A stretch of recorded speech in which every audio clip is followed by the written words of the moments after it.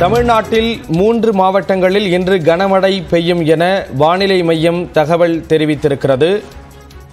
தென்காசி கன்னியாகுமரி மற்றும் திருநெல்வேலியில் இன்று கனமழைக்கான மஞ்சள் எச்சரிக்கையானது விடுக்கப்பட்டிருக்கிறது. மூன்று மாவட்டங்களில் இன்றைய தினம் கனமழையானது பெய்யும் என்று வானிலை மையம் தெரிவித்திருக்கிறது. அதன்படி தென்காசி கன்னியாகுமரி மற்றும் திருநெல்வேலி ஆகிய மாவட்டங்களில் கனமழை பெய்யும் என்ற மஞ்சள் எச்சரிக்கையானது விடுக்கப்பட்டிருக்கிறது.